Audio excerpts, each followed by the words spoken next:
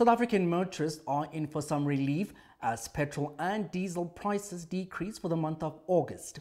Now, the Central Energy Fund revealed a 15 cents per litre drop in all petrol grades, along with a 28 cents decrease for 0.05 sulfur diesel and a further 17 cents for 0.005%.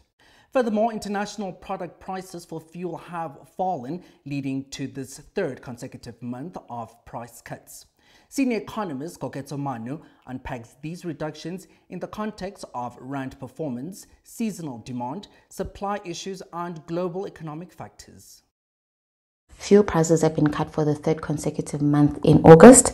Petrol prices will drop by 15 cents per litre, diesel prices by around 20 cents per litre. So you will see your inland 95 unleaded petrol price at 23 rand 11 cents. Wholesale diesel prices will still be around 20 rand per litre.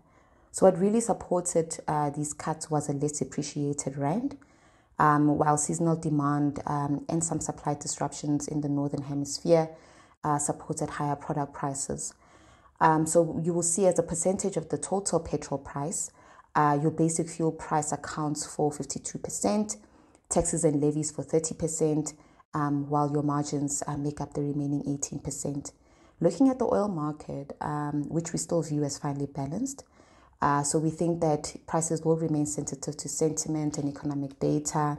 We still have heightened geopolitical tensions in the Middle, in the Middle East, and um, we're also seeing low U.S. inventories, and we think that should that should uphold some premium on the commodities price.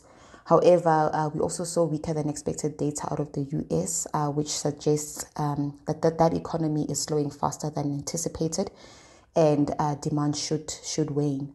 Um, we're also seeing a weak uh, economic uh, economic data or weak economic data out of China, uh, which will also weigh on prices. So this could all result in a delay in the intended OPEC supply increases from October. On the rand side, um, the, the, the, the rand dollar exchange rate has been turbulent on challenging on a challenging global economic backdrop um, with the US labor market uh, softening quicker than expected, markets expect the Fed to start cutting interest rates in September and by a larger quantum before the end of the year. So while this should support, um, you know, riskier assets, a stronger Japanese yen um, and search for haven is continuing to weigh on the rand. So we expect this volatility to continue as market repricing takes shape.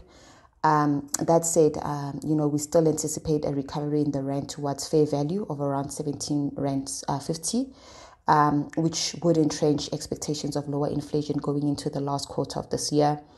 This cut alone, um, you know, means monthly fuel deflation should continue in August.